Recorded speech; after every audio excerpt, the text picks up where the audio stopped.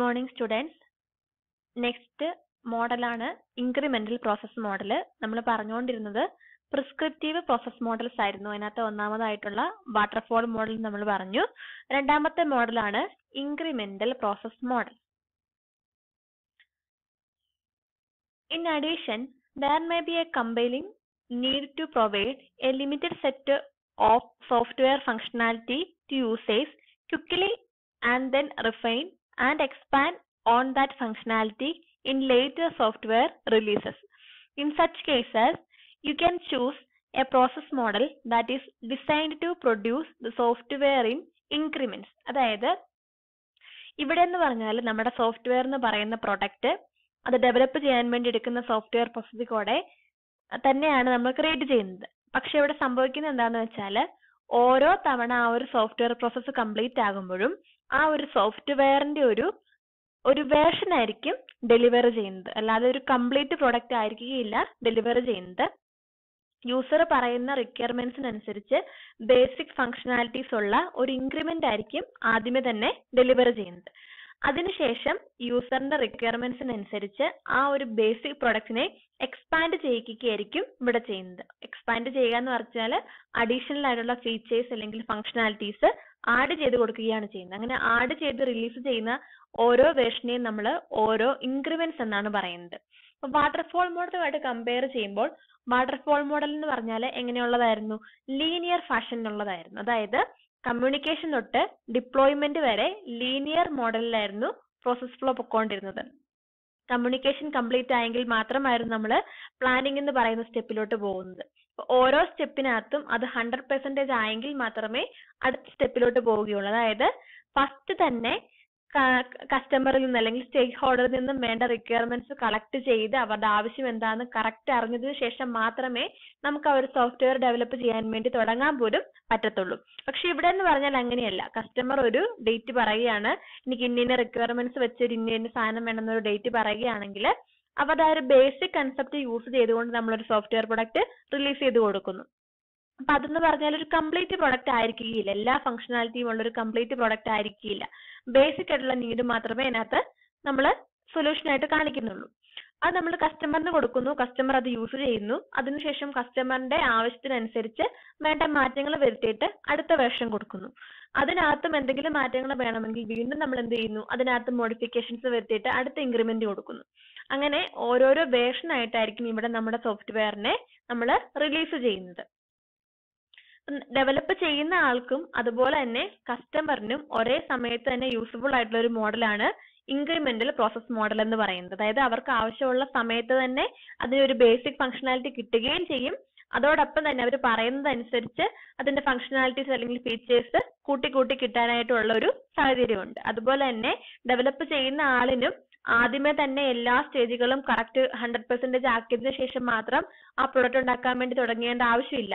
അത്യാവശ്യം കാര്യങ്ങളൊക്കെ അറിയുകയാണെങ്കിൽ ആ സോഫ്റ്റ്വെയറിനെ ഡെവലപ്പ് ചെയ്യാൻ വേണ്ടി തുടങ്ങാനുള്ള ഒരു സിറ്റുവേഷൻ എവിടെയുണ്ട്? നമ്മുടെ ഇൻക്രിമെന്റൽ പ്രോസസ് മോഡലിനകത്ത് ഉണ്ട് The incremental model delivers a series of releases called increments that provide progressively more functionality for the customer as each increment is delivered. അപ്പം സിമ്പിൾ ആയിട്ട് പറഞ്ഞിരിക്കുന്നതാണ് നമ്മുടെ ഇൻക്രിമെന്റൽ പ്രോസസ് മോഡൽ യൂസ് ചെയ്ത് നമ്മൾ ഓരോ സോഫ്റ്റ്വെയറിനെ റിലീസ് ചെയ്യുന്ന ആ ഒരു വേർഷന് പറയുന്ന പേരാണ് ഇൻക്രിമെന്റ്സ് എന്ന് ഓരോ ഇൻക്രിമെന്റുകളാണ് നമ്മൾ റിലീസ് ചെയ്യുന്നത്. ഓരോ ഇൻക്രിമെന്റിനകത്തും എന്താ കൂടി വരുന്നത്? ആ പ്രൊഡക്റ്റിന്റെ ഫംഗ്ഷനാലിറ്റി ആയിരിക്കും കൂടി വരുന്നത്. കസ്റ്റമർ സാറ്റിസ്ഫൈ ചെയ്യുന്നോടം വരെ നമ്മൾ അതിന്റെ ഫംഗ്ഷനാലിറ്റി ആയിരിക്കും കൂട്ടിക്കൊണ്ട് വരുന്നത്. The incremental process model combines elements of linear and parallel process flows referring in figure two point five the incremental model applies linear sequences in a staged fashion as calendar time pro progresses. Each linear sequence produces deliverable increments of the software in a manner that is similar to the increments produced by an evolutionary process flow. അപ്പൊ incremental മോഡലിനകത്ത് നമ്മൾ use ചെയ്യുന്ന process flow രണ്ട് type ആണ് ലീനിയറും പാരലും കൂടെ ഒരു combination ആണ് നമ്മൾ യൂസ് ചെയ്യുന്നത് അതായത് അറ്റ് എ ടൈമിൽ തന്നെ ലീനിയർ മോഡലും ആയിരിക്കും അതുപോലെ തന്നെ പാരലൽ ആയിട്ടും കൂടെ ആയിരിക്കും ഓരോ സ്റ്റെപ്പുകളും എക്സിക്യൂട്ട് ചെയ്യുന്നത്. അപ്പൊ അവിടെ നമ്മൾ ഡെലിവർ ചെയ്യുന്ന ഓരോ റിലേഷനും പറയുന്ന പേരാണ് എന്ത്? ഇൻക്രിമെന്റ്സ് എന്ന് പറയുന്നത്. ആ ഒരു കാര്യം ഓർത്ത് വെക്കുക ഇപ്പൊ ഇവിടെ ഒരു എക്സാമ്പിൾ പറയുന്നതാണ് നമ്മുടെ മൈക്രോസോഫ്റ്റിന്റെ തന്നെ നമ്മുടെ വേർഡ് എന്ന് പറയുന്നത്. അപ്പൊ ആ വേർഡ് ആദ്യത്തെ വേർഷൻ റിലീസ് ചെയ്ത പോലെയാണോ ഇപ്പോഴത്തെ വേർഷൻ എന്ന് പറയുന്നത്? അല്ല അതിനകത്ത് ഫീച്ചേഴ്സ് പലതായിട്ട് കൂട്ടിയിട്ടുണ്ട് അപ്പൊ ആദ്യമേ അത് റിലീസ് ചെയ്യുമ്പോൾ അതിനകത്ത് എന്താ കൊടുക്കുന്നത് അത്യാവശ്യം ഒരു വേർഡ് ഫയൽ അല്ലെങ്കിൽ അത്യാവശ്യം എന്തെങ്കിലും ഒരു പി ഡി എഫ് എഡിറ്റ് ചെയ്യാനുള്ള കുറച്ച് ടൂൾസ് മാത്രമായിരിക്കും അവിടെ കൊടുക്കുന്നത്. ഒരു ഫയലിനെ എന്തെങ്കിലും സേവ് ചെയ്യാൻ എഡിറ്റ് ചെയ്യാനൊക്കെ ഉള്ള കുറച്ച് ടൂൾസ് മാത്രമായിരിക്കും അവിടെ കൊടുക്കുന്നത്. അത് കഴിഞ്ഞ് ഓരോ യൂസറിന്റെയും നീഡിനനുസരിച്ച് അതായത് ആവശ്യങ്ങൾ കൂടി വരുന്നതിനനുസരിച്ചാണ് ഓരോ വേർഷനകത്തും ഫീച്ചേഴ്സ് കൂടുതലായിട്ട് നമ്മൾ ഇറക്കുന്നത്. അപ്പൊ അതാണ് ഒരു എക്സാമ്പിൾ ആയിട്ട് പറഞ്ഞിരിക്കുന്നത്. ജസ്റ്റ് ഒന്ന് ഓർത്ത് വെക്കാൻ വേണ്ടി മാത്രം. Your customer demands delivery by a date that is impossible to meet. Suggest delivering one or more increments by that date and the rest of the software later. ഇപ്പൊ ഇവിടെ പറയുന്ന ഇത്രേ ഉള്ളൂ നമ്മുടെ അടുത്ത് ഒരു കസ്റ്റമർ വരും ഒരു സോഫ്റ്റ്വെയർ ഡെവലപ്പറുടെ അടുത്ത് ഒരു കസ്റ്റമർ വരികയാണ് ഇപ്പൊ ഒരു രണ്ട് ദിവസം കൊണ്ട് ഒരു പ്രൊഡക്റ്റ് വേണമെന്ന് പറഞ്ഞിട്ടുണ്ടെങ്കിൽ നമുക്കത് പ്രൊഡ്യൂസ് ചെയ്ത് കൊടുക്കാനായിട്ട് ബുദ്ധിമുട്ടുള്ള കാര്യമാണ്. അതിന് പകരം ഈ ഇൻക്രിമെന്റൽ പ്രോസസ് മോഡൽ യൂസ് ചെയ്തുകൊണ്ടാണ് നമുക്ക് എന്ത് ചെയ്യാം? അത്യാവശ്യം അയാളുടെ ബേസിക് ആയിട്ടുള്ള നീഡുകൾ മനസ്സിലാക്കുക. അതിനനുസരിച്ചുള്ള ഒരു ബേസിക് വേർഷൻ അയാൾക്ക് പ്രൊഡ്യൂസ് പ്രൊഡ്യൂസ് ചെയ്ത് കൊടുക്കുക അല്ലെങ്കിൽ ഡെവലപ്പ് ചെയ്ത് കൊടുക്കുക. അതിനുശേഷം അയാളോട് പറയുക മറ്റൊരു ഡേറ്റിൽ അതിന് വേണ്ടിയിട്ടുള്ള ഓരോ ഫംഗ്ഷനാലിറ്റീസ് കൂട്ടിക്കൂട്ടി ഓരോ ഇൻക്രിമെന്റ്സ് ആയിട്ട് തരാം എന്നുള്ള രീതിയിൽ പറയുകയാണെങ്കിൽ നമുക്ക് ഡെവലപ്പ് ചെയ്യുന്ന ആൾക്കാർക്കും എളുപ്പമുണ്ട്. കസ്റ്റമറിന് അയാളുടെ അത്യാവശ്യം നടക്കുകയും ചെയ്യും. അതാണ് ഇൻക്രിമെന്റൽ പ്രോസസ് മോഡലിന്റെ ഒരു ബെനിഫിറ്റ് എന്ന് പറയുന്നത്. പിന്നെ ഇതിനകത്ത് വരുന്നൊരു ടേമാണ് കോർ പ്രൊഡക്റ്റ് എന്ന് പറയുന്നത്. When an incremental model is used the first increment is often a core product അതായത് നമ്മൾ ബേസിക് റിക്വയർമെന്റ്സ് വെച്ച് ആദ്യമേ തന്നെ റിലീസ് ചെയ്യുന്ന ആ ഒരു വേർഷന് പറയുന്ന പേരാണ് ആ ഒരു ഇൻക്രിമെന്റിന് പറയുന്ന പേരാണ് കോർ പ്രൊഡക്റ്റ് എന്ന്. നമ്മൾ ആദ്യമേ തന്നെ റിലീസ് ചെയ്യുന്ന ആ പ്രൊഡക്റ്റിന് പറയുന്ന പേരാണ് കോർ പ്രൊഡക്റ്റ് ആ കോർ പ്രൊഡക്റ്റിന് വേണ്ട മാറ്റങ്ങൾ വരുത്തിയാണ് നമ്മൾ പിന്നീട് ചെയ്യുന്നത്.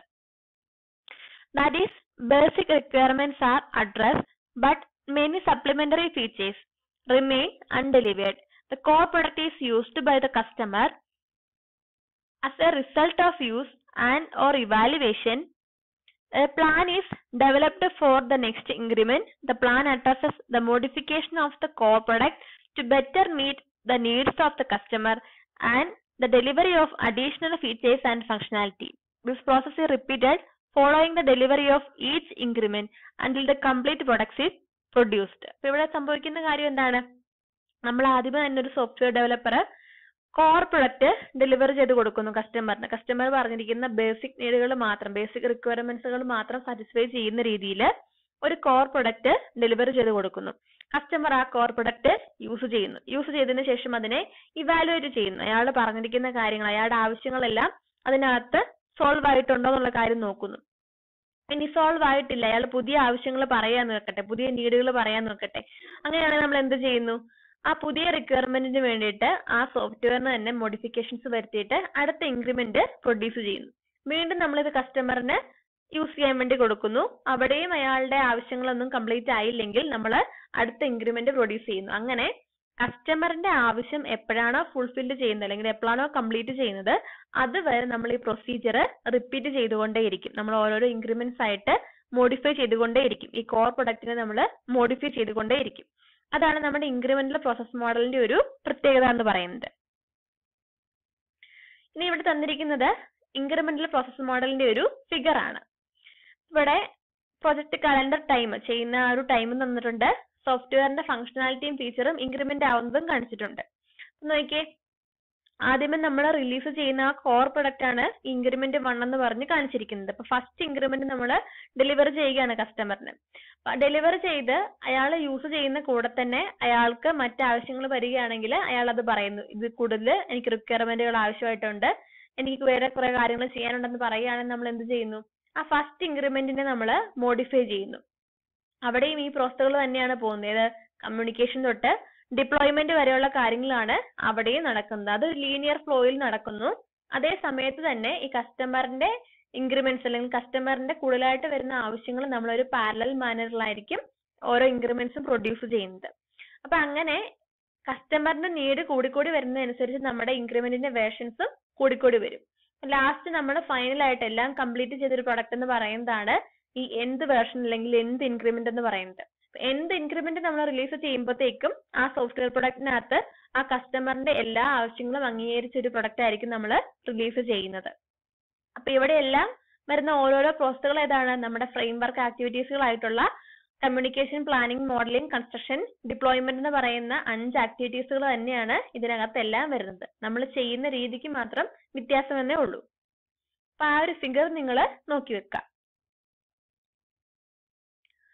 Early increments are stripped down versions of the final product, but they do provide capability that serves the user and also provide a platform for evaluation by the user. ഇപ്പൊ ഇവിടെ വരുന്ന ഒരു പ്രത്യേകത എന്ന് പറഞ്ഞാൽ എന്താണ്? നമ്മൾ കസ്റ്റമറിന് ആദ്യമേ തന്നെ ഒരു ബേസിക് കാര്യം യൂസ് ചെയ്യാൻ വേണ്ടി കൊടുക്കുകയാണ്. അപ്പൊ അതിനകത്ത് വേണ്ടുന്ന പോരായ്മകൾ തന്നെ നമുക്ക് പരിഹരിക്കാം. അടുത്ത ഇൻക്രിമെന്റ് വരുമ്പോൾ ആ കസ്റ്റമറിന് വരുന്ന പുതിയ ആവശ്യത്തോടൊപ്പം തന്നെ നമ്മൾ ആദ്യമേ കൊടുത്ത ഇൻക്രിമെന്റിനകത്ത് എന്തെങ്കിലും പോരായ്മകൾ ഡ്രോബാക്കുകൾ ഉണ്ടെങ്കിൽ അതും കൂടെ നമുക്ക് സോൾവ് ചെയ്യാനുള്ള ഒരു അവസരം എവിടെയുണ്ട്? നമ്മുടെ ഇൻക്രിമെന്റൽ പ്രോസസ് മോഡലിനകത്തുണ്ട് അപ്പൊ അങ്ങനെ ഒരു ബെനിഫിറ്റും കൂടെ നമ്മുടെ ഇൻക്രിമെന്റൽ പ്രോസസ് മോഡലിനകത്ത് ഉണ്ട്. അപ്പൊ ഇതാണ് രണ്ടാമത്തെ പ്രിസ്ക്രിപ്റ്റീവ് മോഡൽ ആയിട്ടുള്ള ഇൻക്രിമെന്റൽ പ്രോസസ് മോഡൽ എന്ന് പറയുന്നത്. ഇവിടെ ലീനിയറും പാരലൽ പ്രോസസ് ഫ്ലോയും കൂടെ ഒരുമിച്ചാണ് നമ്മൾ യൂസ് ചെയ്യുന്നത്. ഫ്രെയിംവർക്ക് ആക്ടിവിറ്റീസുകളെല്ലാം സെയിം തന്നെ. ഫിഗറും എങ്ങനെയാണ് അതിന്റെ വർക്കിംഗ് എന്നുള്ള കാര്യം കൂടെ നിങ്ങൾ നോക്കി വെക്കുക